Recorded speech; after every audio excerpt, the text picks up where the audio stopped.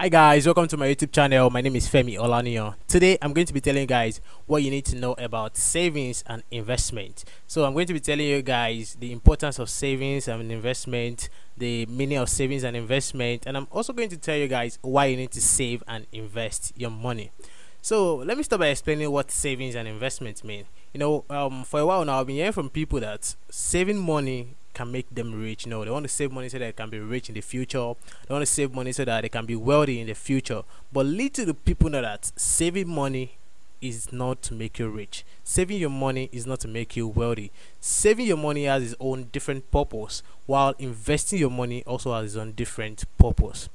Now, what's saving? Saving means putting aside a part of your money in a savings account or maybe a piggy bank or let me say um, a savings platform you trust so that the money can be there for you in, ten, in when it comes to emergency situations like maybe when when you lose your job or you lose your source of income.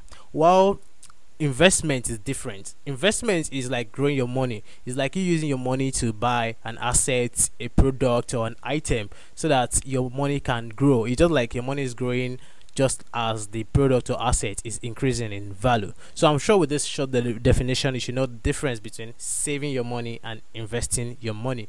Now, I'm sure people will be like, okay, since saving my money won't grow my money, so let me just only invest my money. But that's very, very bad because you need to save your money and invest your money because the way investing your money has its own importance saving your money also has its own importance because saving your money will be there for you in emergency situations and unforeseen events like maybe you lose your job or you lose your source of income as i've said earlier and also saving your money can serve as a can provide financial security for you yeah, and actually, there are three things everybody should do with ease our money. Everybody, you should save your money, invest your money, and spend your money. So, if you're only spending your money and you're not saving or investing, that's very, very bad when it comes to your personal finance. So, you need to cultivate the habit of saving your money and investing your money. And I'm sure you learned one or two things about investing and saving your money in this video. So, make sure you subscribe to this YouTube channel, like the video, share with your friends, and don't forget to watch my next video because I'm going to be talking more about investing and savings on this YouTube channel.